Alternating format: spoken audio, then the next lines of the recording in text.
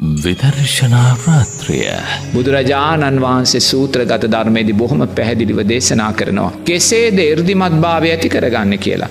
සිත කය තුළ බහා තබන්න. කය සිත තුළ බහා තබන්න. මේ රූපය සැහැල්ලු කරන්න.